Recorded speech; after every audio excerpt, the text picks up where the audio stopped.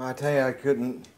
God couldn't have picked better songs this morning. I didn't listen to them last night. I just picked up the ones I felt like He wanted me to have, and I'm like, wow, those are really good. Yes, they were. They were. Thanks, God. Couldn't have introduced that better. Thank you, Father. Um, the uh, the outlines that Terry gonna pass out, I'm, I'm even having some type of reservations about even handing them out, but you're welcome to give them out. Just don't depend on them. Um, so uh, I, I just I don't know if I'm going to follow the outline in that order. Those points will be covered, but um, whether or not it's going to spirit. It's one yeah. whether it's going to be there specifically like that, I don't entirely know. But so it it was my at Terry's request that we had, that I have something that Mike can help you follow along with the key points, and so I'm trying to do that. But to be honest with you, I don't know how well it's going to work. So uh, uh, thank you, Father God, that you are here Amen. and that you are going to speak to us. Again, he speaks beyond the words of a mere man because it's not really it's important the vessel, but not nearly important as the Spirit of God. Amen. Amen. Uh, he is the only true teacher. We don't just say that as a, a statement of of um, fake humility. It is the honest to God truth. Um, even those who have a gift of teaching, Paul says, "What do you have that wasn't given to you?" Amen. So uh, we we want to honor him. Amen. Thank you, Jesus. God, you're beautiful. Yes, he is. Thank you so much. Thank you so much. You are so glorious. Um, as we continue in this chapter, of course, we are starting uh, the, today in verses 34 through the end, hopefully. Um, uh, the, the point, the overarching point, though, as we continue in four, chapter 14, it's all about decency and order because the Spirit of God, uh, remember, we, we, we started talking about um, this because we're talking about the saints being the ministers. Uh, it's not it's not the pastors, it's not the prophets, it's not the uh, evangelists. It's it's it's not them. Um, I think a great example of that has been uh, the death of Billy Graham and the way that it seems to have impacted the body of Christ. And to be honest with you, as as great of a man as he was, it should have been little more than a blip on our radar, because the bottom line is that the reason why he's carried so much importance is because the fact that the body's not doing anything and they rely upon people like that to do everything. Are you following me? And that's not the way it should be. Uh, in many respects, people like that had to do so much because the body was doing nothing. And God's like, that's not my design. It's not my purpose. They were there and they are here to equip the saints for the work of the ministry, and they are the ones that are supposed to be doing the touching. They're the supposed to be the one, uh, like the early church. You know, Father God, lift. Um, uh, we pray that you uh, you uh, pour out your Spirit on us, and and that through your Spirit we lift. that we put put out the hand of Jesus Christ and lay it on the nations that they might be healed and and bring them into the kingdom of God. That was the prayer of the general church not the pastors, not the prophets, not the teachers. It was the church that was praying that kind of thing. You know, use us to go out and reach the lost. Use us to minister to our brothers and sisters in Christ. And so, you know, we started talking about spiritual gifts, which are the things that the Spirit influences our hearts with power and with authority to speak into each other's world and to reconcile hearts to God. Amen. And but then we talked about how the fact the Holy Spirit, when He comes, He's only going to talk in a certain way, and He's always going to talk about Jesus. Amen. And and that and that when He talks about Jesus, His point is always going to be to glorify the Father through the Son. Right. Yes. But but that you always glorify the Son, and by glorifying the Son, you do glorify the Father. Amen. And it, because it's a family portrait, which we talked about on Wednesday with the menorah as a living example of it, um, uh, uh, God, Jesus can't be glorified unless you and I are glorified. Everything depends upon the other. To the degree that you and I take on the nature of Christ and therefore the glory of Christ, the character, the honor, the majesty, the nobility of Christ, when we do that, we honor our head, who is Christ. And when Jesus is honored, the Father is honored. It, it just has this, this ricochet all the way through the body of Christ, all the way through um, uh, the Godhead, doesn't it? And so you know these uh, these these truths are very important. But then when you got to chapter fourteen, he's saying you know there are right things and wrong things. When you're ministering, there are right ways and wrong ways to do everything. And so this chapter is very concentrated on doing things in decency and in order, isn't it? Right. So um, as we pres- progress this morning through these last few verses, let's lay down before we get started some basic points which up to this moment we've already all agreed to.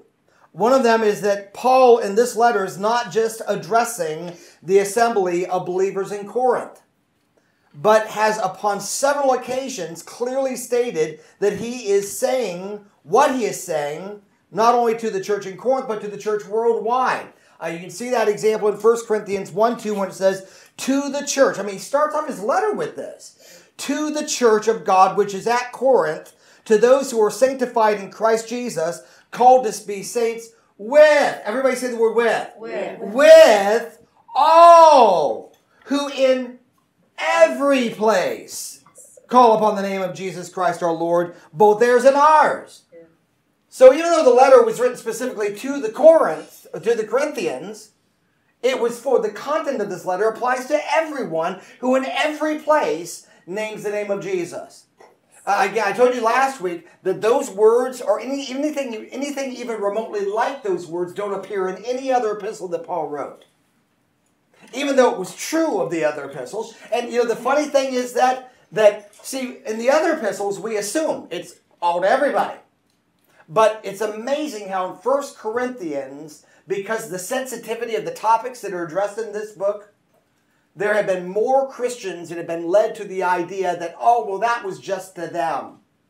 In this, not in Second Corinthians, though they'll buy all of that. But that whole First Corinthian thing, now there's some passages in there that are just, that was just for that particular church. Which, is it any wonder that God went out of his way several times in this book alone, not in the, any of the other books, but in this book alone, to repeat himself about three different times what I'm saying is for all the church, everywhere, throughout time. And yet, with those verbal clues in this letter, people have still thought, well, that was probably just for that church. They would have never thought that if it came to the book of Ephesians. Would have never thought of that if it came to the book of Colossians, hold on for in a moment, or, or Thessalonians. But in this one book, they think that. And yet, in this one book, is the only place God went out of his way to say that's not the case. It's not the case. It's not the case. So, is did God see something coming? Yes. Yeah. And did He already speak to it? Yes, He did.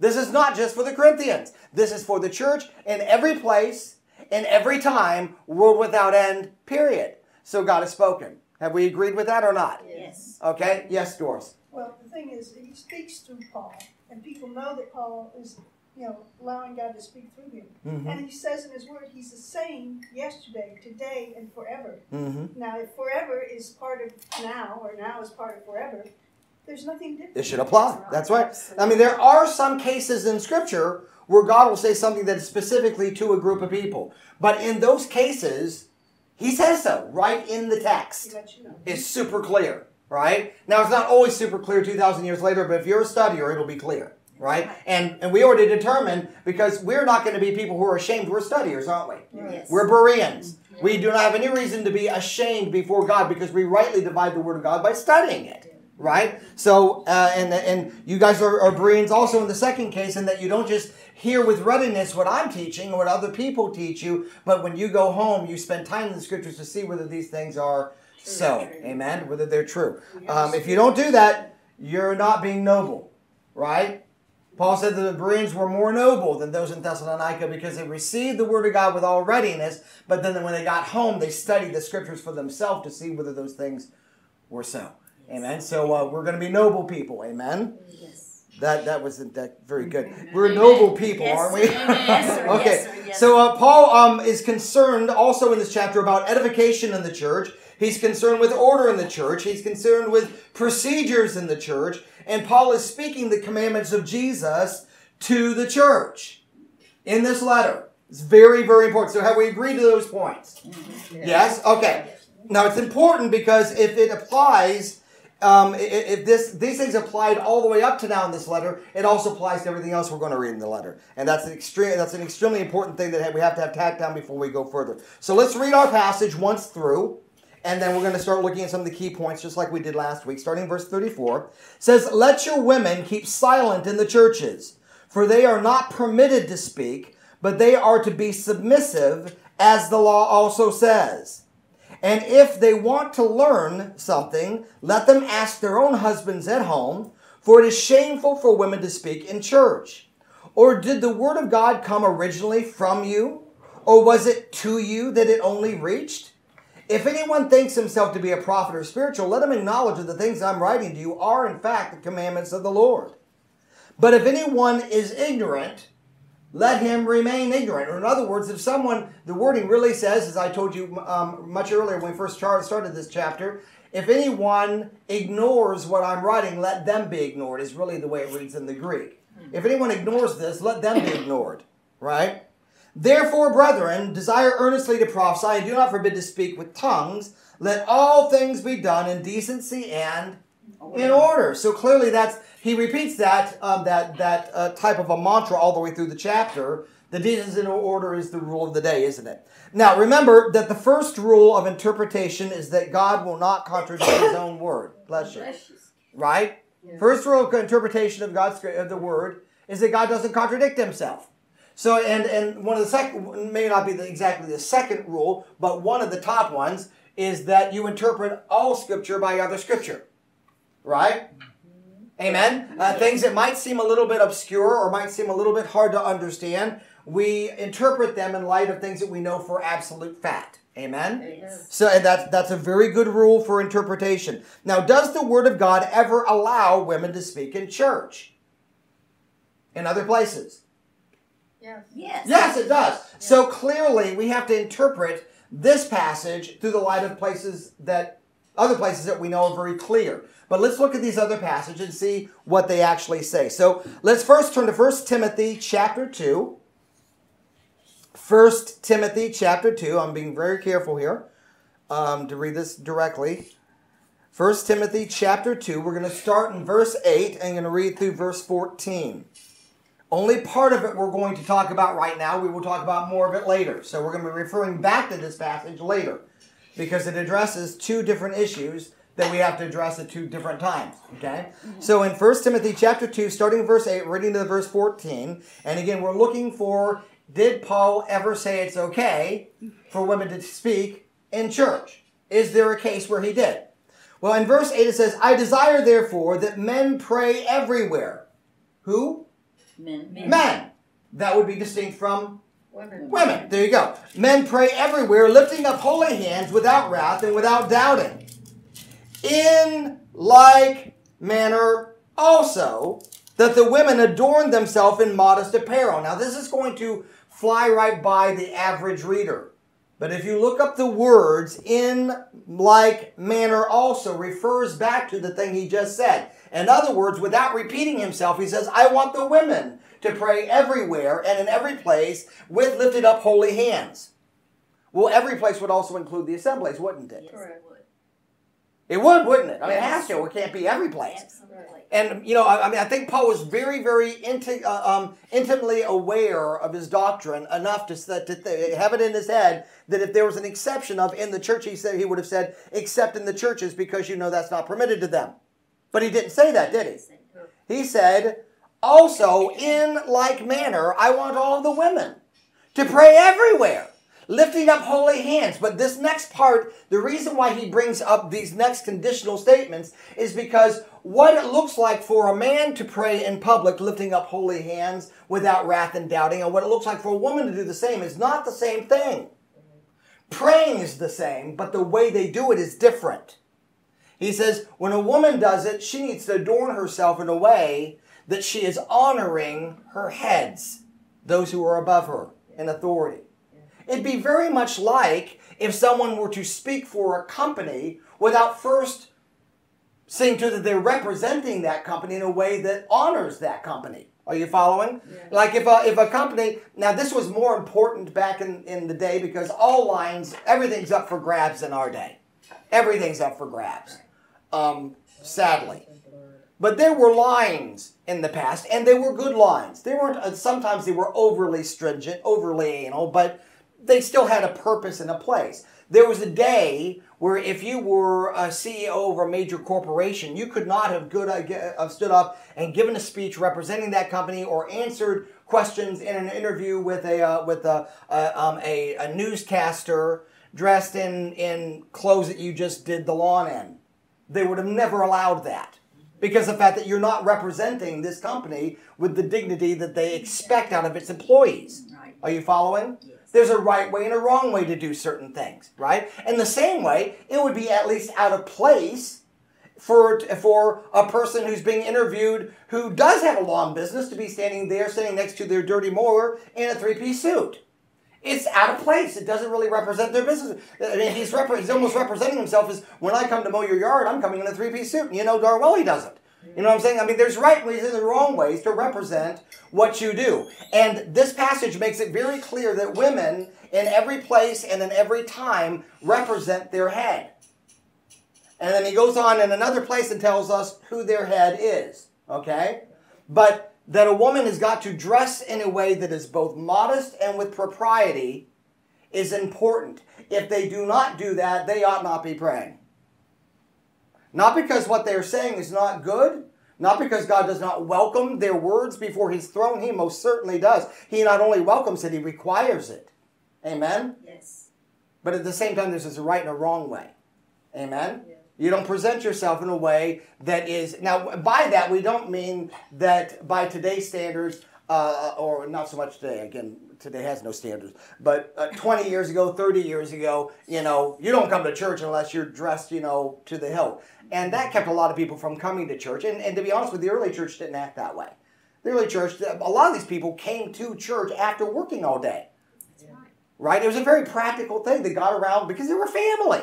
There was no need for pomp and circumstance, right? And and and in cases when it did happen, Paul addressed it. The Corinthian church uh, was living in an area where even the poor people were richer than a lot of other people around the world. Corinth was an affluent city, had a lot of money. You can see that. You don't have to, again, don't take my word for it. Read through 2 Corinthians and 1 Corinthians, particularly pay attention to chapters 8, 9, 10 in both books. And you'll see that Paul addresses the wealth of the city and the wealth of this church. They, they had more money than most people did. And, and, and, the, and, and to be fair, the people who were Christians in Corinth were probably middle income to lower income people in that city. But middle to low income in Corinth was upper echelons in Rome. Are you following? So I mean, all things are relative. I mean, to, you, poor people that live on the street in America are better off than uh, middle income people in other nations, aren't they? So it's all relative, isn't it? Yeah. So um, he was telling. So it, even with these people, they were coming to church and they were coming, you know, flaunting their, you know, what we would have called our Sunday best, and it was all about pay attention to me, look at me, and they were peacocking, strutting, and this was not probably just relegated to women alone, but it was more of a woman problem than it was a man problem. Okay, and that's traditionally been the case. If you don't believe me, go to a department store and see which clothing department is larger Yes, that's right. in every store. Yeah, that's right. Isn't it true? The shoe department. You've got one aisle for men and about 12 for women. Yeah. Why is that? Well, because they know that this is an issue for women, and men are like, you know, just give me two pair of shoe. I just don't want to have, you know, I don't want to be barefoot. That's really all I'm looking for here. Now, it's getting worse because men are becoming a lot more effeminate, but um, in the real world, where, where gender lines actually do have a meaning, by and large, it's it's that's typically the way it is. Are there exceptions to every rule? Yes, but all it does is prove the rule. Okay. So now, um, let's look at this again. I, I, I wanted to give that as a caveat as to where we were going, so you can understand why he brings it up. He says, "In like manner also." So he's talking about, I want the women to pray in the same way, with lifting up holy hands without wrath and doubting, but that it says women need to adorn themselves in modest apparel. Don't be showing too much, right? If you show too much, what are you doing? You're drawing attention to Yourself. yourself. Amen. Um, it says with propriety and moderation. That means he's also saying you don't have to come looking like a bum, but at the same time, don't come looking like you're dressed going to the Taj Mahal. I want you to just come. Just don't don't come to draw attention to yourself. Now this is a big deal. Paul makes a real big deal about this, not only here but in another place. that um, uh, and and there's a reason for this, and we're going to see it as we progress through this that it's in the purpose and the design of the woman to draw glory and bring glory back on her husband or on mankind in general if they're not married, not to draw attention to themselves. So, is it any wonder that the enemy has made it so that women make their appearance all about themselves? No, uh-uh. Just like God intended man's authority over women to be a protection and a provision for them, is it any wonder that in most places around the world the enemy has distorted it into holding women under a subjective thumb? It's a distortion of what God designed. Amen? Amen. It's still what God designed, but it's a distortion of it.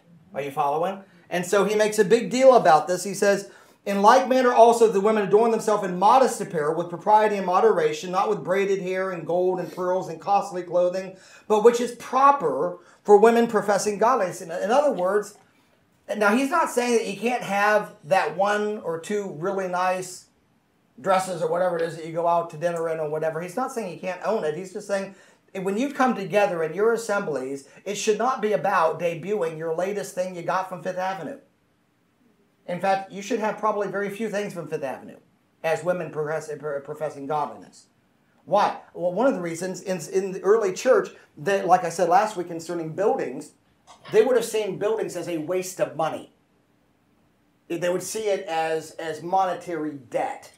Why support a building when there's people starving around the planet that have never heard this gospel? Why they would they would have looked at people like they had two heads if you were to build a cathedral to meet it. They would have thought, "What are you talking about?" And and and in the same way, for people to have to live not not to have some nice things. There's nothing wrong with having nice things. Bible's never against that. He says God gave us all things to enjoy, right? But there's also an overboard to this where you've got way too much and you're spending too much on these things. And that's the same kind of money. That money that is being wasted could be put into the gospel. Amen? And so this was a very practical matter, which is why Paul attached it to if you profess that you're godly, you wouldn't do this anyway. Now, I- now you, I hope you guys are seeing, just in your mind's eye, just close your eyes, and in your mind's eye, look across the body of Christ at large in primary nations. Do you think that they really believe and adhere to these words that Paul said? What do you think? No, I don't think they do at all. And, and yet Paul said it's a condition of whether you're truly godly or not. Hello? yeah. So uh, would you say this is important stuff? Yes. Yes, Doris. What comes to my mind is that to come humbly before the Lord. Yes. Uh-huh. pride aside, because it says holy, holy hands, that's- without sin, without wickedness. Mhm. And if you're prideful, that's, that's not, That's definitely not humble. that's not in That's- in yeah. the category. And and and again, this uh, because it runs completely opposite to the role. The role is to bring glory back on her husband or upon her father or his house, depending on whether or not she's still at her house or whether she's married. Which in their day, that was the only way you weren't with your father's house is if you were married. You brought, in other words, you brought glory back on your head, right? uh, you represented well. You were not there to draw attention to yourself. I've given an illustration of this in the past, and uh, I'll make reference to it again in the future later on in the message. But um, you'll see this as well, again, not that long in our past. Um, and in my lifetime, I remember being a young man and going to, uh, we didn't go to too many parties and stuff like that, but some parties we did go to. And when you go to a party, a social party, a, a lot of times, if it wasn't just for fun, there was also a lot of meet and greet, which wound up being more about promoting your business than it was almost anything else. And what would wind up happening is the men would talk with one another, and the women would be with them, but the women would often they'd be in a, in a support role. They would be there putting as good of a light on their husband causing him to be shy, shown in the best light possible. They did not, they weren't flashy, they weren't showy, they didn't, you know, leave their husband in the dust and walk out and, and start shaking other men's hands and stuff like that. They were always with their husband and they were helping present him to other people. They were playing a support role. They were being a, oh, I don't know, helper, right? And that, that was true of, of non people that weren't even born again. It was just the way society was, right? Because and and really around the world that still is true in most places where you have not developed the notion of freedoms to the point where everybody thinks, well, I can do whatever I want and forget you, which is, of course, where America has head. And other places that are in first world countries have done that as well. But it says, in like manner also, the women adorn themselves in modest apparel with propriety and moderation, not with braided hair or gold or costly clothing, um, but which is proper for women professing godliness with good works. Let a woman learn in silence with all submission. And I do not permit a woman to teach or have authority over a man, but to be in silence. For Adam was formed first, then Eve. And Adam was not deceived, but the woman being deceived fell into the transgression. So the part that we're looking at right now is verse 8 and 9, where he says, uh, when, when he was addressing the, the right and the, the propriety of a woman praying in public. He wants them to do it. So clearly, already, we already know in 1 Corinthians 14, what he's saying there cannot be saying they can't pray. So silence must mean something other than what you would assume it means. Is everybody with me or no? Yes. Yes or no? Yeah. Okay. Let's look also in 1 Corinthians chapter 11. Go ahead and turn there. And Terry, you had something. As we're turning 1 Corinthians chapter 11, we're going to start in verse 4.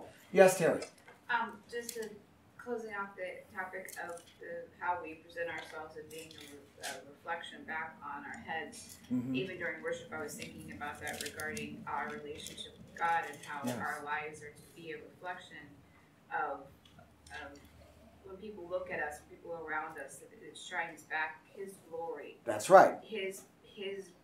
It points to Christ. to Him and exalts Him. Yeah. We're not drawing attention to ourselves, we're drawing attention to Christ. It's just like the menorah, right? Well, exactly. That's where I was going with the tabernacle. Was the thought of the, the pure gold Mm-hmm. that was on the walls. That Mhm. was, was so beautiful, but at the same time, it reflected back Mm-hmm.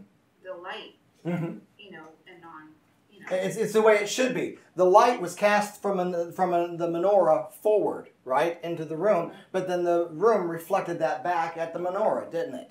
So, so the candelabra, the menorah is not glorifying itself; it's glorifying its surroundings. But the surroundings not glorifying itself; it's glorifying the menorah. Are you following? It's I work for God and I serve Him, but at the same time, Jesus came not to serve to be served, but to Sir. serve. It works both ways, doesn't it? Right? And, and that's what love is. Love always works for the benefit of the other. Amen. It's never focused on self. Right? Now in 1 Corinthians chapter 11, starting verse and uh, 4 and reading verse 5 as well, it says, Every man praying or prophesying, having his head covered, dishonors his head, but every woman who prays and prophesies with her head uncovered dishonors her head. For it is one and the same as if her head were shaved.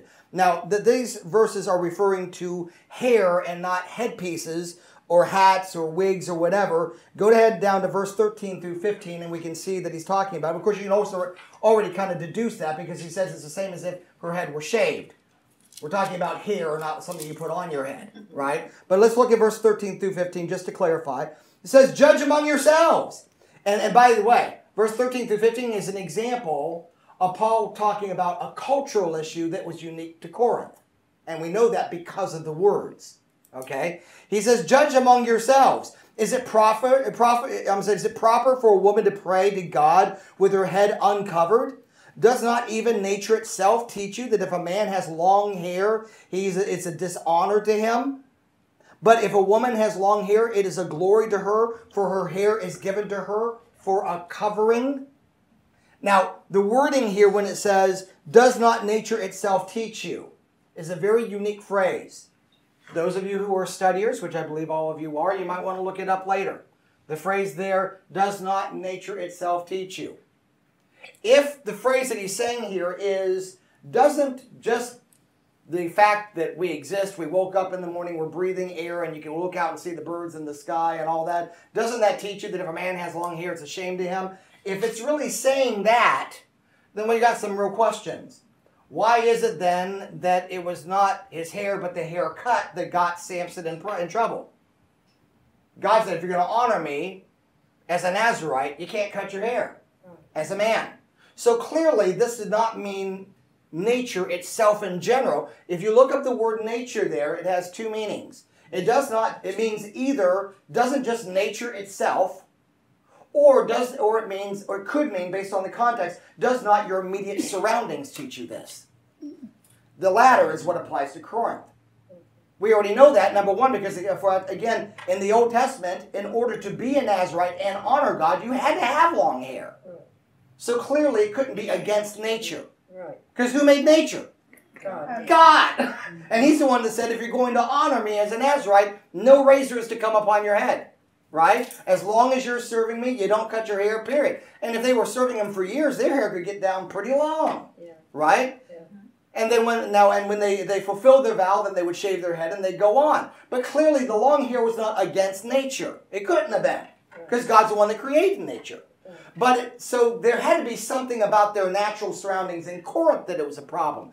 Well, you got we already know this a long time. Ago. We talked about it a long time ago. In Corinth, there's a, a subsection called Acrocorinth, and uh, they they had a very perverse religion there, and um, it was very sex based, um, and uh, women were were the priests in that religion, um, and men and women would prostitute themselves. And to differentiate themselves from other people in society, the women would shave their head and the men would wear long hair. And that's how you knew they, they were a priest or a priestess of Acrocorinth.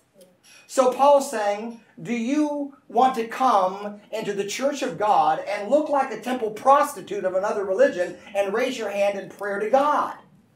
Does not doesn't your immediate surroundings tell you there's something wrong with this picture? Right. Right. That's all he's saying, right? Now, Paul makes a big deal that if a woman does pray, she needs to have a symbol of authority on her head.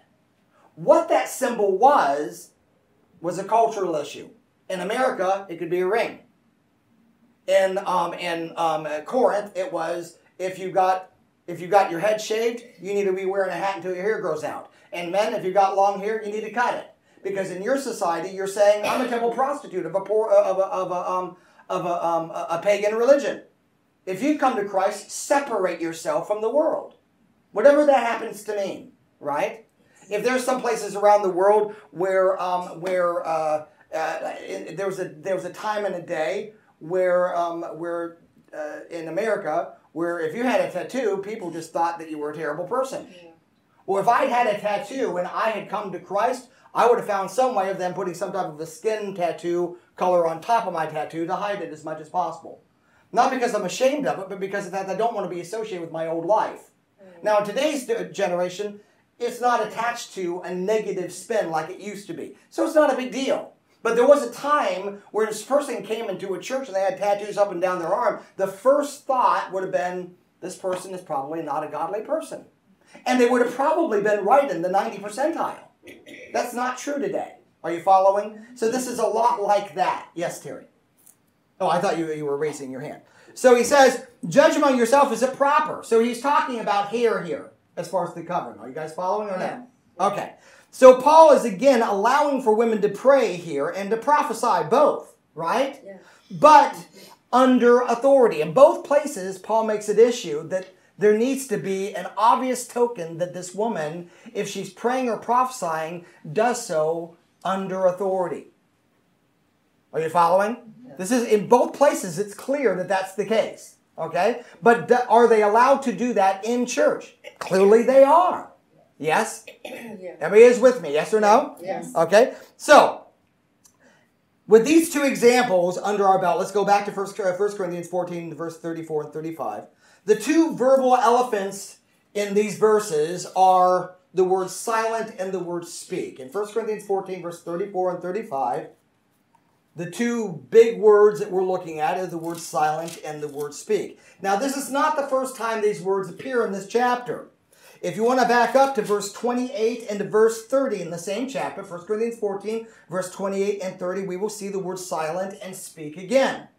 It says, But if there, in verse 28, but if there is no interpreter, meaning for the person who speaks in tongues, let him keep silent. silent. It's the same word.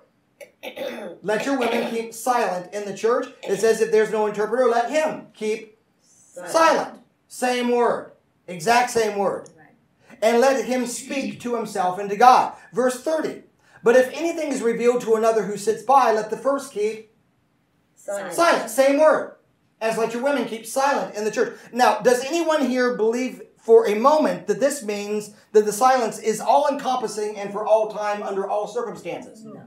No, it's very clear. In these first two verses, it's very obvious there's a circumstance in the situation in which silence is preferred. Well, in this third one we're talking about with women, the same is true. It's just not as obvious. It is obvious in the Greek, it's not so obviously obvious in the English translation. So while this word, now the word silent literally means silent. It means close your mouth. That's what it means. Okay? Yeah. Now, um, there, it has a dual meaning. Externally, it means you've been doing this, I want you to do that. Right? Okay, externally. Internally, it means take a chill pill. Yeah. Cool. Maintain your calm. You notice before he gets to the issue of women keep silent in the churches, he tells us that you know what prophecy doesn't overpower you. You don't have to talk. Right? I mean, he says that just before bringing this issue up about women. Mm-hmm. Let your women keep silent in the church, right? It's right after he got done talking about prophecy, judging prophecy, and that just because the spirit of prophecy comes on you, it does not make you prophesy. You have control over your tongue, right? Calm down. At least you're supposed to. Uh, maintain some inner peace here. Don't be controlled, but be in control in that regard. Now, in control for us means submitted to the Spirit, not you know grasping for control. But in other words, it means when this, when the gifts come over you, what is that the exact wording there concerning prophecy? It says because the spirit of prophecy is subject to the prophets. It's not the other way around. The prophet is not subject to the gift of prophecy. The gift of prophecy is subject to the prophet. You don't have to give it. You have control, right? Right. Maintain peace, inner peace. All right. Now, we need to find out who is Paul addressing by the words "your women." Yes. Uh huh. Prophecy is a gift, right? It is a gift.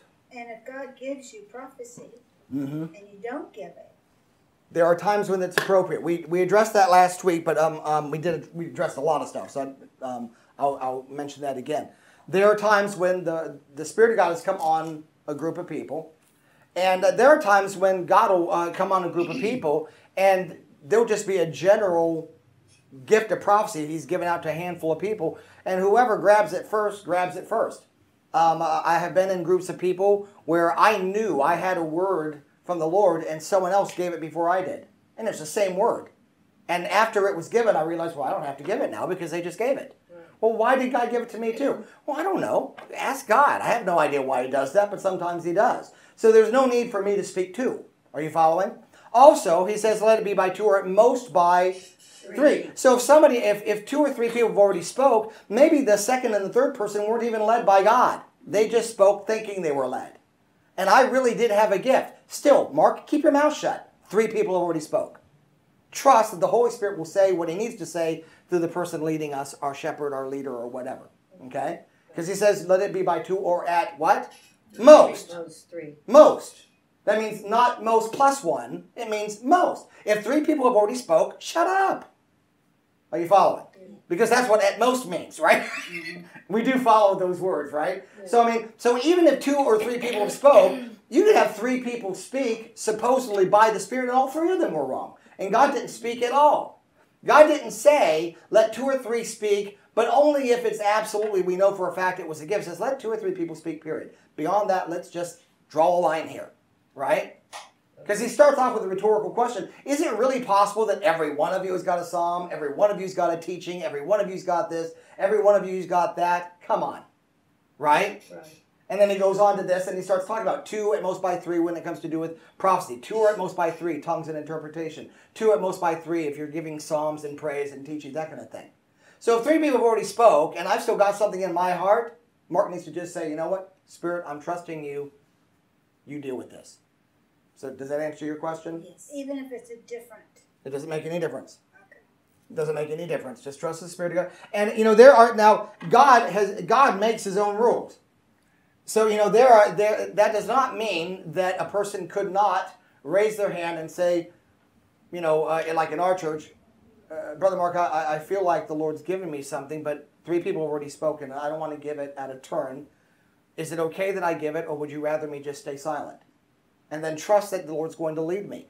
I could be wrong. in what I say. But then it's on me, it's not on you anymore, right? God's going to look at me, the head, and say, Mark, why did you give them authority to do that?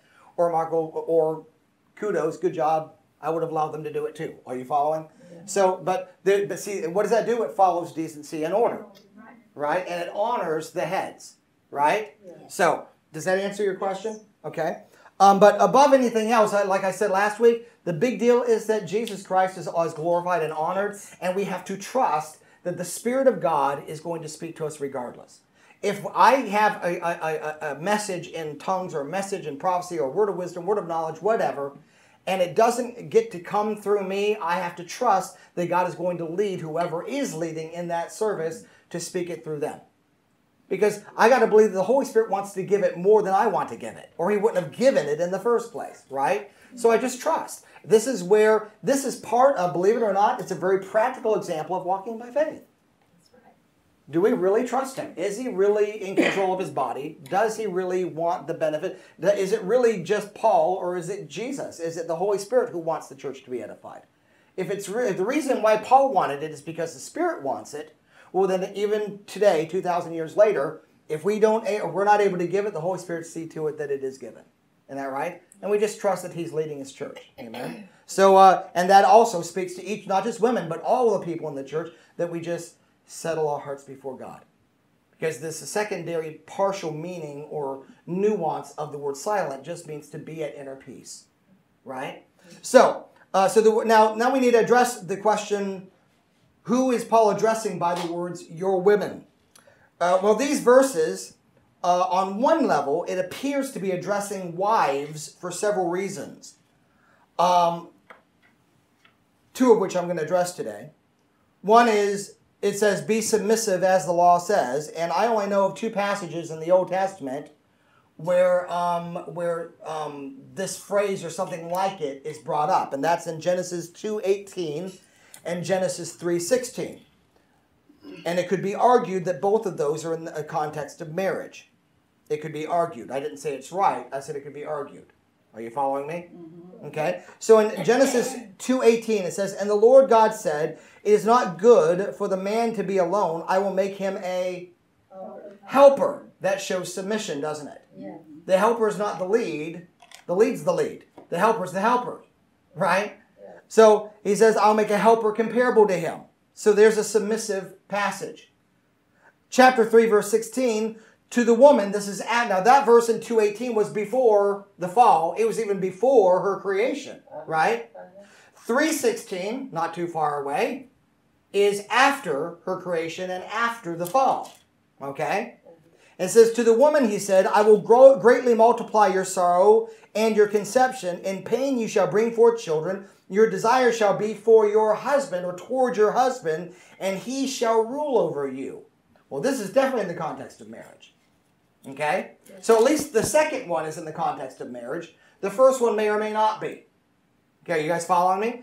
They're the only two places that. So why are we looking at those passages? Because it says, the reason why I want your women to remain silent is because they are to and, uh, is because they're to be submissive as the law says. Well, if I want to know what women he's talking about, I need to find out where in the law does it say that they need to be submissive.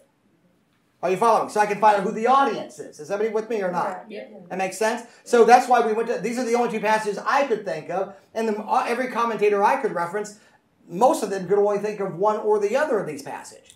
So these are the only two passages I could think of. Okay, but clearly they were there, and they do address something. The second one is a phrase in this passage in 1 Corinthians 14 that tells us who he might be talking about. It says, "Let them ask their own husbands at home." Which, by the way, could correspond to the words your women. Your women, your husband. Right?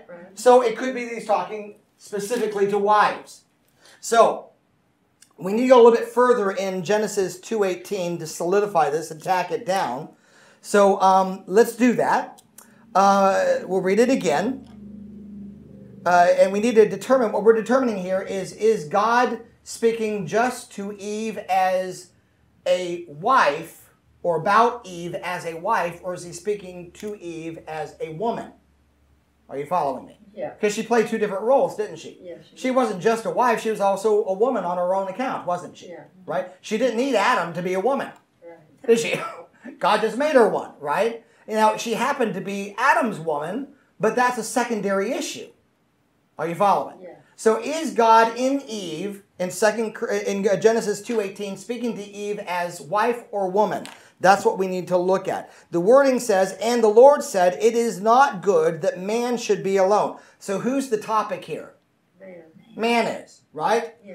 I will make him a helper comparable to him. He shows up 3 times in this verse, she shows up once. Uh-huh. Right? Yeah. Okay, it's not good that a man should be alone. I will make him a helper, there she shows up, comparable to him. Him, him, him, her. Right? So this is clearly verses about Adam, isn't it? Yeah. So now, if I'm going to find out who, what this is talking about, now I need to find out. Not do I. Not only do I need to find out is God just talking about Adam, Eve as wife. I need to know whether God's talking about Adam as husband or as man. Are you following me? Uh-huh. Does that make sense? Because the whole per- clearly the focus of the verse is man. Yeah. Did anybody pick that up as we read it or no? Yeah. Can yes. we ask a question? now? Sure. Yes. The way, the way, exact way that this is worded, to, at least in my brain, Mm-hmm. is um, yes, he will make him a helper Mhm. comparable to him. He has not yet given her to him. So when Yeah. she arrives, when he's she's created, Mm-hmm. She's just a woman Mhm. until God gives her to Adam. Adam. Okay. So It would seem to you that this is talking to Eve as a woman. both. Yeah. Well, I, I think it. I think it does apply to both. Okay. Agree. I agree with you. So let's go forward. Um, so we have to now. Now our question has been changed a little bit. Is God speaking to? Is God saying that? Um, uh, and I, I wrote it out here, and I, I worded it pretty well if I can remember where, where I put it. Um, well, since Eve's uh, purpose and uh, okay, yeah, pr- here we see that her purpose is inexorably tied to her function. Her purpose is a helper. That's also her function, right? Now, is he saying that this is true about just wives, or is he saying this about women in general? Does this mean that women were created to help men, or only that wives were created to help their husbands? Well, since Eve's purpose and her function were tied to Adam, we need to determine was God referring to all men in Adam or only future husbands? So let's see that uh, uh, rather than me having to just try to figure that out, let's let Paul answer the question for us because he does. Whew. Right? Thanks, Paul. Yeah. You can be the bad guy. So go to 1 Corinthians chapter 11 and let Paul interpret Genesis 2 18 for us. Are you seeing how we're, are you also learning how we study Scripture? Yeah. We allow Scripture to interpret Scripture. If Mark does it, he's got a good chance of being wrong, right? Right. but if we allow Paul to do it, I'm pretty sure we're in good ground, right? If Jesus does it, we're on good ground. So Paul says it here in 1 Corinthians chapter 11, verse 2 and verse 3. Again, 1 Corinthians chapter 11, verse 2 and 3. Now I praise you, brethren, that you remember me in all things and keep the traditions just as I delivered them to you. But I want you to know that the head of Every, Every man is Christ. The head of woman, now in the Greek again, every is implied because it's already been said. Yeah. Okay? The head of every man is Christ. The head of every woman is man. And the head of Christ is God. So clearly, the head applies to whether you're married or not. He's not, because he's not saying God is the head of every husband, but not every man. Is he? No. No, he's clearly talking about all men. Right. He's also saying here about women. He's not just talking about wives. He's talking about men in general. Yeah. Right? Yeah. That, uh, that that they are subject to mankind. Yeah. Okay, you following? Yeah. So it's, it's pretty clear. So let's begin with this first example. Is God the head of every man or just husbands? Well, I think we've concluded that he's the head of every man. So with these interpreted verses to go by, what would be your determination? Is God speaking to wives only in Eve, or is he speaking to women in general in Eve? I think he's talking to women in general. So if we go, uh, we keep on reading in 1 Corinthians 11, verse 4 through 12, and we will refer to this again later, but we're going to just read it now. Let every man praying or prophesying, having every man praying or prophesying with his having his head covered, or in other words, having long hair, dishonors his head. But every woman who prays or prophesies with her head uncovered dishonors her head. Well, he already decided, he already said who the heads were. The head for man that he's dishonoring, he's dishonoring God. Right. But if a woman does this, she's hon- she's dishonoring the entire male gender. Hello? Not just her husband's or her father, but the entire male gender. Are you following? Yes. He says, "For if a woman is, uh, for if a woman is not covered, let her also be shorn. But if it's shameful for a woman to be sho- shorn or shaved, let her be covered. For a man indeed ought not to cover his head, since he is the image and glory of God. But woman is the glory of man." You notice here he doesn't say wives are the glory of their husband. That is also a truth, like you were pointing out. But it means woman was created for a man. And as man is the glory of God, woman is the glory of man. Now, remember, remember what we sang this morning. To you alone glory, right? So whether or not we immediately like what we read, we recognize that every single thing that God created, He created to illustrate how glory belongs to Him. Amen? The, the, the, the, one, the, the, the one created for is always the one giving glory to the one for whom they were created, right? Man was created for God, and so therefore man is God's glory. Woman was created for man, therefore woman is man's glory. Are you following? It's very clear. I mean, I didn't write these words. I didn't stick in your Bibles uh, last night when you were sleeping and write the words in there. They're right there, aren't they? Right. Yes? Okay, so he says here, now does that mean women cannot glorify God? Of course not. As a body of Christ, every member in the body of Christ can glorify God. He's saying in their role as gen- a gender specific role, they were created to give glory to mankind. Man was created to give glory back to God. All of mankind does glorify God, but in their gender specific role, a male is created to give glory directly back to God. Women are, give, are created to give glory directly back to man. Uh, are you following? In the same way that if I glorify Christ, I am glorifying the Father, aren't I? If a woman glorifies man, she's also glorifying God. Are you following? To glorify the lesser is to glorify the greater. Now he says here in verse 7 For a man indeed ought not to cover his head, since he is the image and glory of God, but a woman is the glory of man. For, now uh, there's a lot of for statements here, and if you'll spend time with them, you'll understand a lot concerning this topic. Uh, He's saying this is true because, and this is true because, and this is true because. Are you following? So when he says for, he says, For a man indeed ought not to cover his head, since he is the glory of God, but woman is the glory of man. For man is not from woman, but woman from man. Nor was man created for the woman, but women were created for men. Well, that's pretty clear there. Yeah. Isn't it true? Yes. He says, For this reason, the woman ought to have a symbol of authority on her head. Now, what was he talking about when he started this whole subject? Praying and prophesying in the assemblies. She should have a symbol of authority on her head when she does that. Not because her words are not welcome before the throne of God. In fact, they're required. God wants to hear the voice of his daughters. Amen. And the body of Christ is edified by their voice. Amen. Men and women alike are glorified and blessed by their words. Amen. But there's a proper and an improper way to do it. And we present ourselves as people under authority. Amen. All of us, men and women both. Yes? Okay? So, nevertheless, neither, he goes on he says, Nevertheless, neither is man independent of the woman, nor the woman independent of, of, of, um, of man in the Lord. For as women came from man, even so man comes through woman. Isn't that true? Adam was not taken from Eve's rib. No, it was the other way around. Woman came from man. But every man that's been born after that came through woman. Amen? So we're not independent from one another, we're interdependent on one another. Are you following? There's beauty and there's symmetry here. We, we, we complement one another, we are not in competition with one another. Amen? The, as soon as we start making it about me, about I, and become competition, it becomes cancerous and becomes deadly. And automatically it speaks to our value then. But realize our value is not being addressed here. Our value is secure.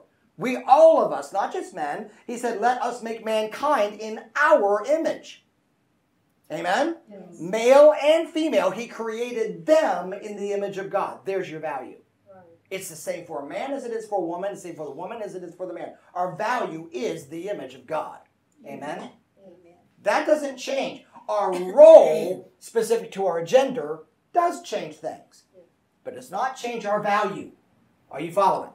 This is so very important. I know I've spent time with this in the past, but whenever I bring it up, I want to say it again. It can't be overstated, in my opinion. Now, these words are universal. They are not limited to married people only. Men, a man is not from woman as a source, but woman is from man as a source. Notice that God created woman for man, not man for woman. From this, Paul shows that women have been delegated a support role for men, not a leadership role for them.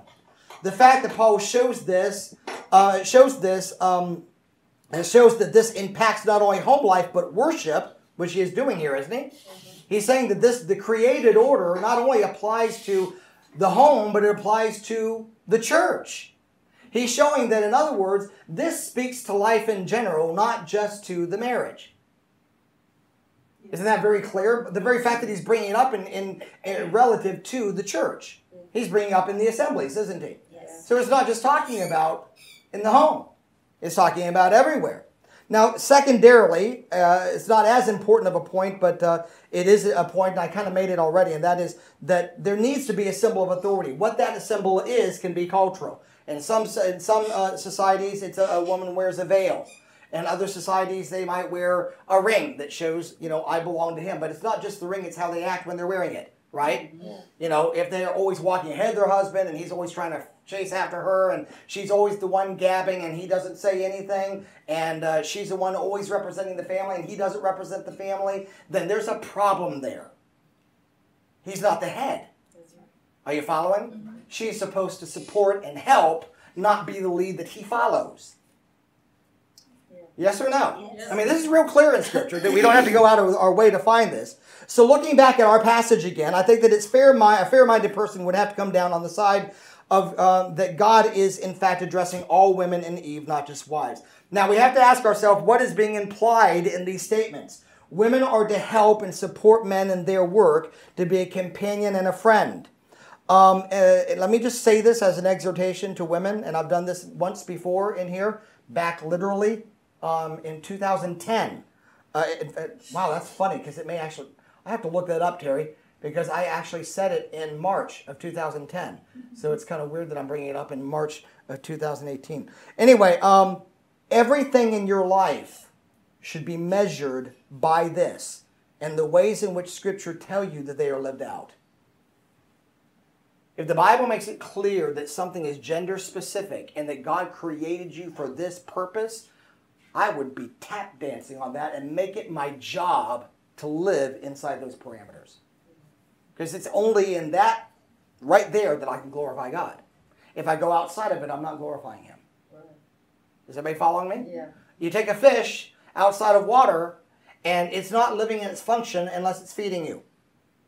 It has one place it belongs, mm-hmm. right? It wasn't intended to survive in the desert.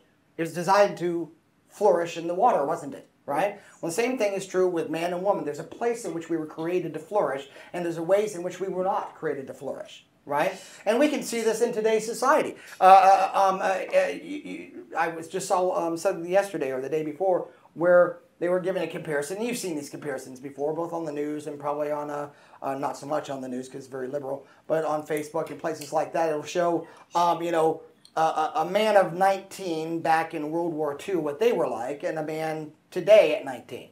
And they're radically different. A man back then at 19 had already been in war, has already dropped bombs on people he's never met, has been in hand to hand combat, has had to defend an entire infantry with the machine gun at his own peril. And he knows what it's like to be cold, to be starving, to be uh, to uh, to have to you know to exist for the benefit of another person without needing a safe place and a blanket and a and a, and a, and a binky in his mouth, right? And you got the guys now uh, that are 19 years in America, and you can't say boo without them crying in a corner um, and needing therapy. There's clearly a problem here. Would you agree with me? Yes. That's not. That is not man operating where God placed them. Amen? And nobody is glorified by that. In fact, the sad thing is they don't even have the common sense to be ashamed of it. Now, It's clear that these instructions are not just for the married, but are integrated into our design. Rebellion towards these standards is rampant in our world, so much so that even level headed sinners can see that it's out of balance. I've, I don't know how many people I've talked to that I know for a fact do not know Christ. And they can look at the movies, the entertainment, and the way that our, our laws are aiming towards the exaltation of women and the debasement of men, and they think it's absolutely insane. Right, We're talking about lost people can even tell this. right. As long as you're somewhat level headed and can look at life and say, that just doesn't make sense. So, I mean, uh, clearly this is running headlong in the wrong direction. Last night, and this was certainly, I promise you, it was not, there's no way I could have made this happen, but it just happened to happen right at the right time the day before I taught on this topic. Um, last night, Tara and I were at Publix, and I went, I could not get the dumb machine to work for filling our water. So I had to go into the customer service line and get change because they won't take my dollar. It wasn't crisp enough. So I had to get um, change. So I went to customer service in Publix, and as I was um, leaving, I looked back, and there is a man who's probably in his late 70s, dressed in a blue dress, wearing a doily type of shawl over his shoulders, pumps, and the whole nine yards, standing in line. Oh my gosh. And Are I you and serious? I'm not, yes, I'm serious. I just can't. Yeah, yeah, I understand because you, you but the bottom line is it was it's right there. Uh-huh. And and nobody dared give him a second glance because they don't want to be labeled. They're scared to death. But I promise you, 90% of the people that saw him thought, freak, what the heck's wrong with you? Right. But they would never have said it because it's not cultural, culturally acceptable, right? But, you know, if someone had done that 50 years ago, he probably wouldn't have gotten in the front door. He certainly wouldn't have been served. What costume party are you going to? Yeah. You know, and immediately when I saw that, a verse sprung to mind, and it's in uh, Deuteronomy chapter 22, verse 5. Deuteronomy 22, verse 5. It says, A woman shall not wear anything that pertains to a man, nor shall a man put on a woman's garment, for all who do such a thing are an abomination to the Lord. Right. We turn it into something that's fun at a party, and God says, It's not funny.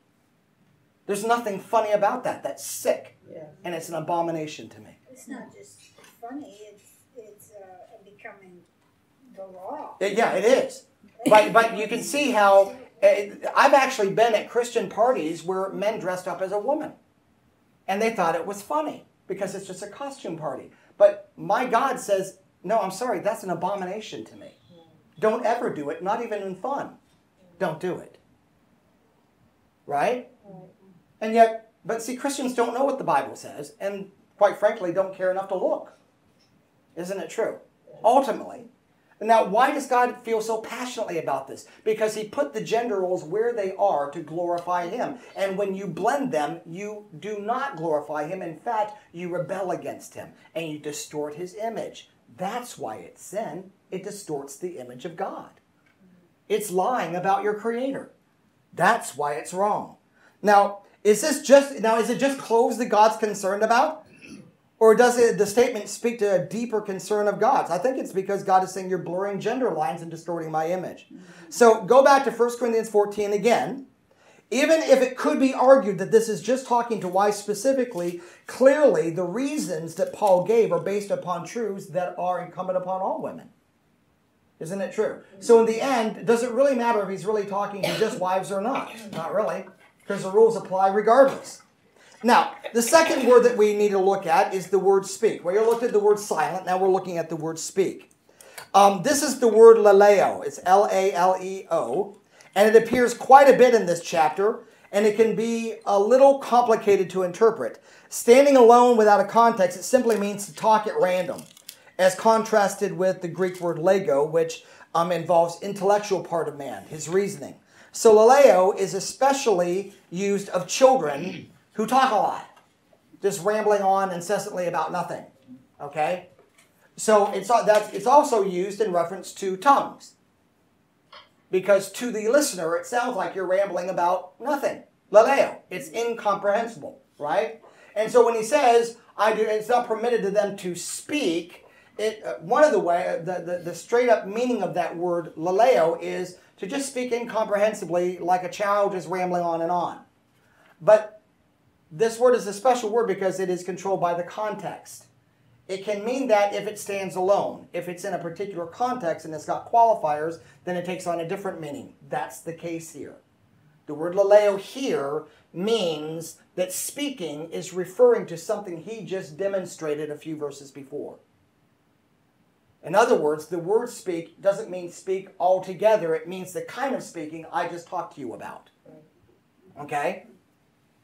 Now, you, again, you have to be very careful when you're interpreting languages because languages, words mean something radically different based on how they're used, Yeah. right? Yeah. In this case, he's not saying, I don't want women to just ramble on about nothing, because if that's what he meant, he would have said men too. Yeah. It wouldn't be proper for a man or a woman to just ramble on about nothing, right? That would be not decent and it would not be orderly, right? So there's nothing about female that would mean they alone couldn't do that. But the word actually literally means, re- I don't want women, it is not permitted to women to speak in the way that I just talked about. So what did he just talk about? That's one of the things we need to look at. Paul was talking about maintaining order while using the gifts, and he had provided two examples of this. The first was tongues with interpretation, and the second was prophecy. Um, so far, we know Paul has, up to this point, never told women that they cannot give a message or an interpretation in tongues, and we know for a fact that he supports them prophesying. So clearly, it's not prophecy in itself that he says women cannot do. We know that. Did we not already read verses this morning where, where Paul supported women prophesying in the church? As long as they represented some type of symbol of authority, they were a woman under authority, prophecy was perfectly acceptable in the assemblies for a woman. Right. So it can't be talking about that. So what else did he just mention? Well, he mentioned a particular type of talking which has to do with judging prophecy. Judging prophecy. That requires authority. A woman can prophesy, but a woman in the church cannot stand up and say, What you just said is not correct. Because that requires authority. Now, how do we know that? Well, because Paul has already addressed authority issues in other letters. Let's turn to 1 Corinthians chapter I mean 1 Timothy chapter 2. I told you we're going to go there again. Didn't I say that earlier? Yeah. 1 Timothy chapter 2. Let's go back there real quick. 1 Timothy chapter 2, looking at 8 through verse 14. Paul addresses authority here. I will not, uh, he says, let your women keep silent in the church. In other words, let them hold their tongue and remain in inner peace, because it is not permissible for a woman to speak in the way that I just talked about. In other words, judge prophecy in the assemblies. But it's to be submissive. So I already knew in reading the verse that whatever kind of speaking, it was non submissive. It had to be. Because he pits it against, but are to be submissive. So whatever speaking had to be not submissive. Isn't that kind of obvious in the wording? Yeah. Yes or no? Does that make does everybody follow me or not? Yeah. That verse says that let your women keep silent in the churches, for it's not permitted for them to speak, but to remain in submission. But in submission follows don't speak. So the kind of speaking has got to be non-submissive speaking. It has to be. And the context alone tells us that. Well, the only thing Paul has brought up so far that would have been prohibited to a woman is the authoritative action of deciding and coming down authoritatively whether prophecy was right or not. So let's look at 1 Timothy chapter 2, starting in verse 8. I desire therefore that men pray everywhere, lifting up holy hands without wrath and doubting. In like manner also that the women adorn themselves with modest apparel. Blah, blah, blah. Skip on down to verse 11. Let a woman learn in silence with all submission. Now I want you to see how these two verses compare with one another. In, cha- in chapter 14, he says, If a woman wants to learn, let her ask. Here he says, I want a woman to learn. But in both places, it's in silence. Yes? Yeah. But but you notice that learning is mentioned in both places. Yeah. Yes? Okay. This is, let a woman learn in silence with all submission. Submission is mentioned in both verses, isn't it? Yeah. And I do not permit a woman to teach or exercise authority over a man, but to be in silence. Now, so clearly the word silence used here means to be inwardly calm. Don't assert yourself. Don't overreach your boundaries. Right? And now he gives us a reason for it. He says, because Adam was formed first, then Eve. Now, when we already ad- addressed the issue that he wasn't talking about husbands and wives, he talked about men and women. Right? And, he's, and this is, you notice, he, in talking about forming, he's not talking about after they committed sin. This is not a result of the fall. This is to do with the order of creation. No one has fallen yet, have they? He said Adam was formed first, then Eve. That's the reason why one is submissive to the other. In other words, Paul's saying God intended and was saying something when he made Adam first. Now, he could have just as well made woman first. It's not who he made. For all I know, it was, a, it was a kind of a flip of the coin. I know it wasn't because he put character traits in men that exemplify the father, which is God, God, why God is called the father and not the wife and not the mother. You know, the Bible doesn't ever call God the mother. He's called the father. Why? Why is it a gender specific term? Because of the fact that in man, God, uh, God represents himself the clearest as the father in his role there, right? The Holy Spirit is very clearly referenced in women. Can you look at the Holy Spirit and say the Holy Spirit has less significance than the Father? No. You can't do without either one of them. Isn't it true? Right. Absolutely. But out of the two, who is always giving glory to who? The Spirit's always giving glory to the Father. Right? You see, so all these things are painting a picture, aren't they? They intend to represent something. They're saying something. God made man, right? Then he made woman for man, right? So, we've already pointed out that these words have a point. Let the women learn in silence with all submission, and, do, and, and I do not permit a woman to teach or exercise authority over a man. So these are five points that are brought up here is learn in silence, learn in all submission. That's our word hupotasso. To willingly place yourself under. It is a very specific word, women. God is not saying that you need to be in that position because you're incapable of doing anything else. He's saying because you are just as capable as men, you've got to determine to place yourself under. That's what the word hypotasso means. It means to voluntarily place yourself under. It's got nothing to do with rank, importance, or power. Well, it does have something to do with delegated power, but it doesn't have anything to do with ability. He's not saying it's because you're incapable and stupid. It's because of the fact that this is the created order and I've delegated authority the way I have. If he meant the other, there's another Greek word that would have better suited it. Hupotasso means to voluntarily place yourself under. It doesn't mean you were created as only able to be under. You could be ahead if you chose to. But if you're going to honor God, you have to willingly place it. In other words, God gave women ability to do things that He doesn't want them to do. Why? Because otherwise there would be no free will. You'd be doing it because you had to. You had no choice. Yes? Yes. Hupotasso shows a willingness to surrender abilities that I otherwise would have. Yeah. It's not that a woman can't do it. It's that, that she shouldn't do it. Is everybody with me? Yeah. Yes. This is why the teaching about women for generations was dead wrong because they always would go from a verse like this and run right to Peter where said where Peter said that the woman is the weaker vessel. And they would apply that to mentally and to with skills and with this and that. And Pa- Peter wasn't even talking about that. He literally meant physically weaker. Well, that's that's obviously true. I mean, and now are there cases where you're going to have a, a pencil of a guy and a woman who's been working out? Yes.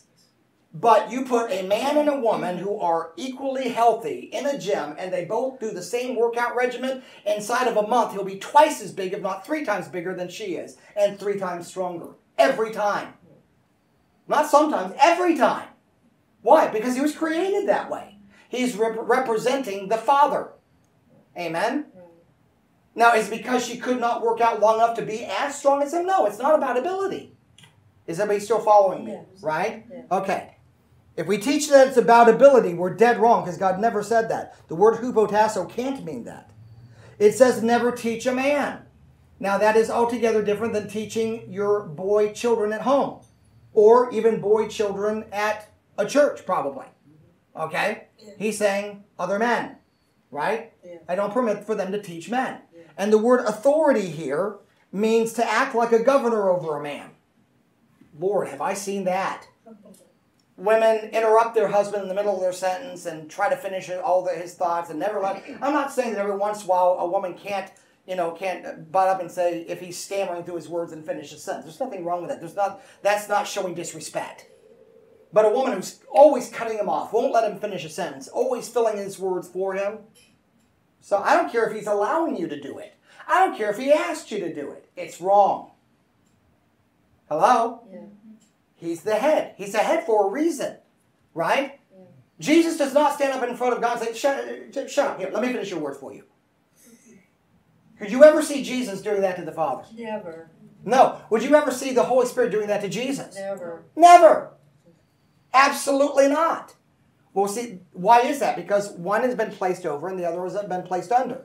Now, in the Godhead, is it because is because somehow Jesus is less than God, God the Father? No. Is that why he hupotassos? No, he hupotassos until, in fact, the whole purpose and ability to hupotasso is because they're equals. Right. Amen? Yeah. But he places himself under. Amen?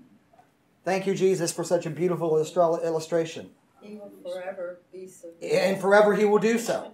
Now, I have in your little outlines some examples I'm not going to go through for time's sake. Okay? But I wanted to illustrate it for you. You can see it in, I, I don't remember how I put on your outline because my outline's different. But I talk about examples of how um, uh, authority in regard to women is used and how the role of a woman in not only in a marriage but also in greater society are illustrated by the lives of women in the New Testament and the Old. Okay? An example of power gone the wrong way was um, uh, um, Queen um, Athaliah, who is mentioned in 2 Kings 11 and in 2 Chronicles 22. She was never placed in that power, she grabbed it. And the men in that society did nothing about it but followed her lead. Eventually, destruction was coming down on Israel because a woman was leading them. And God, through a prophet, led them to pull her out of the kingdom and kill her in front of everybody. Yeah. And then a rightful heir was placed there. Yes. It was improper for her to be in that position. Yes. Uh, we see in another passage in Isaiah verse, uh, chapter 3, verse 12 childish leaders oppress my people, and women rule over them. O my people, your leaders are misleading you. They send, uh, they send you down the wrong road. Who did, he, who did he say their leaders were? Child- Women. He said they're childish, but they're women. Right? He said they're leading you down the wrong road. Why? Because they were not intended to lead, they're just intended to be the helper of the one who is leading. Remember, that wasn't just relegated to God. Wasn't just remember we uh, attached the fact that Paul made it real clear. We're not just talking about wives. We're talking about women. We're not just talking about husbands. We're talking about men. Right? There's a right and a wrong way to do things. Now, is society going to run the opposite direction? Well, every time they are, because they are the world. But we don't worry with the world. What we are concerned about is how do I act as a member of God's body. Amen. Yeah. That is what matters. Yeah. Amen. Yeah. That's what I support. You can also see the lives of Miriam and Deborah and Huldah, all Old Testament women, all of which respected male authority, loathed the idea of supplanting men's rightful position. Even in the most uh, garish one that you can find, which is Deborah, Deborah said out of her own mouth that I don't want to do this because if I do this, the glory that belongs to you as a man will fall on me, a woman. Yes. She said that out her own mouth. Yes. So she knew her place. Yeah. But was she still a prophetess in Israel? Absolutely. Yeah. God placed her in that position. But prophetesses and prophets have no authority. If you were to look at Huldah, and look these verses up, look them up yourself. Huldah was also a prophetess. Miriam was a prophetess. But who did she lead in prophecy and worship? The women, didn't she? Yeah. Miriam. Remember that? We read that in Exodus. She ran out ahead and began to prophesy and sing in prophecy with all the women, and they danced with timbrels and cymbals and all that kind of stuff, right? Yeah.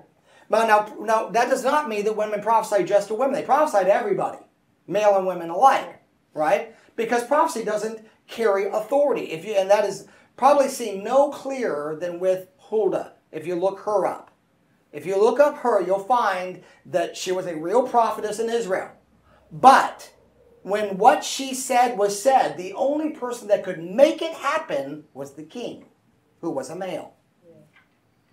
Are you following? Yeah. Look up the examples yourself. Don't take my word for it. So, Paul says the two reasons here that he gave, if we're reading that passage in Timothy, he says, because Adam was formed first, then Eve, And then Adam was not deceived, but the woman being deceived fell into transgression. So he gives two reasons. The first one was created order, the second one was deception. I'm just breezing through this for time's sake because I don't have time to get, and I, I don't. There's not a whole lot of need to get bogged down in it anyway because we have spent time with this in the past. But I do want to just hit a few high points. Okay, so you guys still tracking with me for a moment? Yes. All right.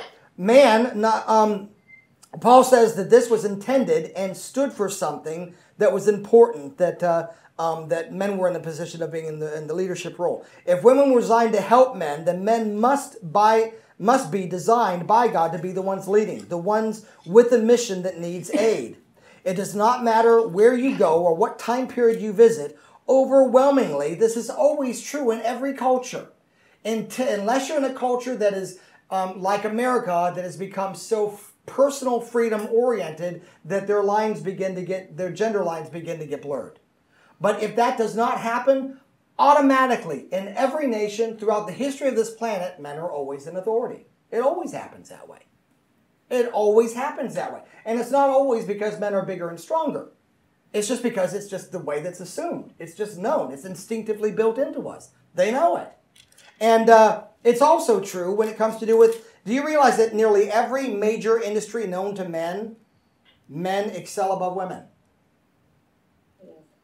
In virtually every single thing. I'm not, I'm not just talking about in architects and engineers and scientists. You'd kind of expect that. But I just did a quick Google search last night and I was just oh blown away. Blown away every time I looked something up. The top 10 fashion designers on this planet, 7 out of 10 are men. Interior decorators, 7 out of 10 of the best on the planet are men. Bakery chefs, 10 out of 10 are men.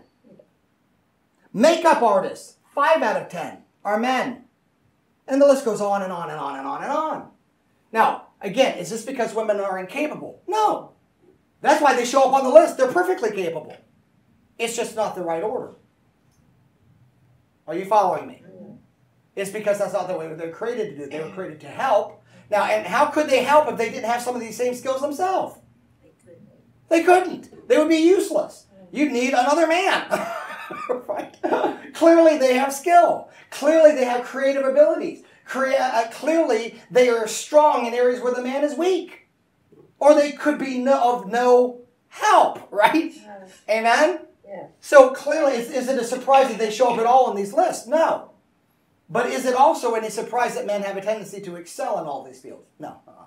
You, you'll find some noteworthy, brilliant female scientists out there, brilliant engineers, brilliant in any field. But by and large, you'll find it is dominated in almost every one of them by men. And the best in industry will almost always be men. Why? Because God has placed his authority there. That's where he placed it. You You're realize, not- huh? You're not saying that women cannot hold these positions in science and stuff. No, I'm not saying that. Okay. Um, particularly, particularly if they are playing what God intended them to play, and that's a support role. They've got to be in the industry to influence it, don't they? Yes. I mean, if, I, if, if I'm going to influence, uh, if God has called me, uh, uh, uh, called a woman in the support role of, of aiding mankind, men in their lead in science, she has to be a scientist, doesn't she? Yeah. Right? I would think Now, this does become uh, treading into tricky waters, and we'll probably wind up showing a video next week that will. We'll probably next week will probably be a very easy week because number one, this week was a little harder than normal. Um, but we'll probably play a video and then open up to questions um, uh, because there's going to probably be a lot of them. Because the truth of the matter is, the body of Christ done right looks radically different than the world, and the world will look at us and think we're Amish. And there's a reason for that because the Amish, they're overly strict. And they keep the letter of the law to the point of interpreting the law in ways that was never intended to be interpreted. right? But at the same time, they are often closer to the truth of God's word than the average Christian is. So we need to see how is it really played out. Because there are times when a career is inappropriate, particularly for a married woman. Her role is very clear in Scripture. And we'll address that probably next week, not this week. Okay?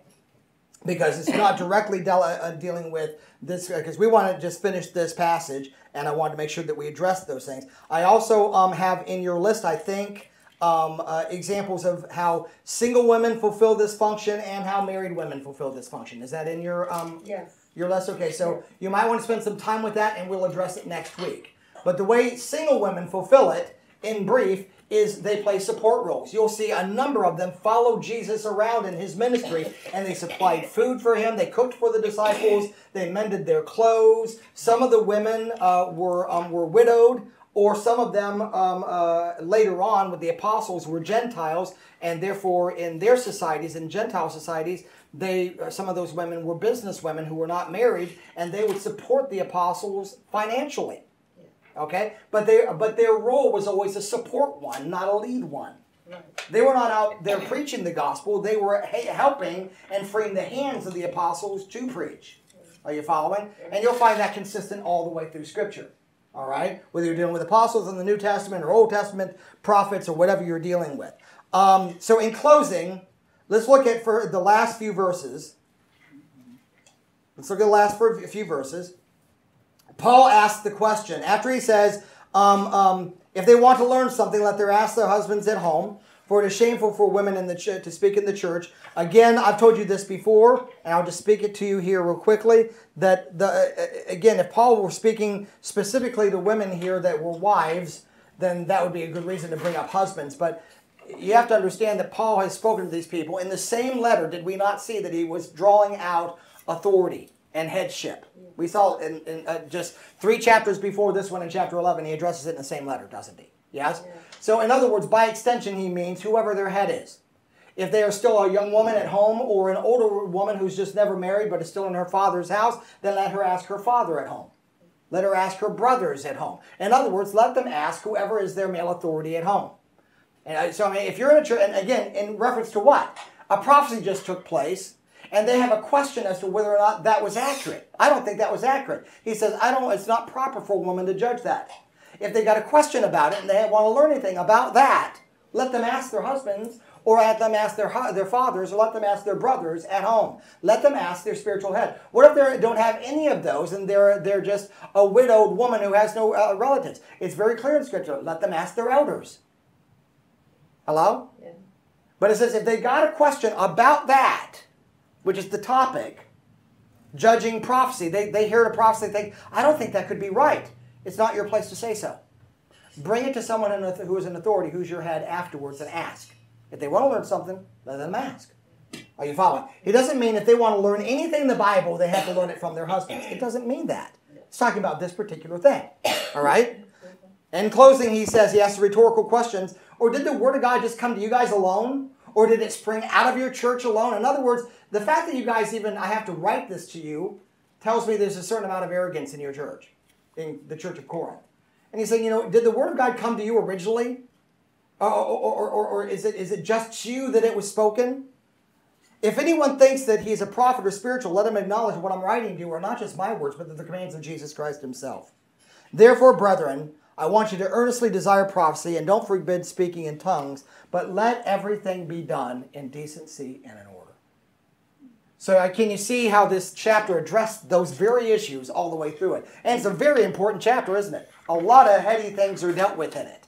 But I think some of them had to be treated a little bit with kid gloves and, and go into with some depth so we understood what they meant. But clearly in this passage, that word speak is the key word. So you may want to underline that, put some asterisks on it in case you don't remember everything I said about it. You can look it up yourself, okay? Because the word speak there can mean just to ramble on about nothing. But if it were talking about that, it would have said it to men as equally as to women, right? Because it would never be appropriate for anyone to do that. Or it can mean not to speak in a way that he just mentioned. Well, in this passage, it has to mean that. And the only thing that he had just mentioned that would have been prohibited to women is authoritative speaking. Prophecy is allowed to them. Interpretation of tongues and tongues is allowed to them, isn't it? The only thing that would have not been allowed to them would have been to judge prophecy in the assembly because that is a role of authority. Is everybody with me? Okay. So, um, before we close right now, is there any questions about what we've covered today? Yeah, but I'll ask. Okay. That, so far, does it make sense to you? Oh, Yeah. yeah. Does it seem consistent with the whole of Scripture? I think it does too. Hopefully, we are advanced enough in here that this does not speak to anyone's identity. I pray to God that that's the case. And if you've got a problem with that, come to me. Don't remain silent. Because God makes it clear your identity is Christ Himself. Your value is Christ Himself. It's got nothing to do with your delegated roles. Amen? That's the whole purpose of the word hupotasso. You have to voluntarily surrender rights, abilities, freedoms because you have them. Right? Or you couldn't surrender them. Yes. Well, if we are to, if that's God's goal, is Christ formed in us, that's what Christ did. That's right. I mean, he, he himself, That's right. right? He surrendered all. And every gender has got to do that in one form or another. If you are human, you have someone that you hupotasso to. Even Amen. to the point of death. That's right.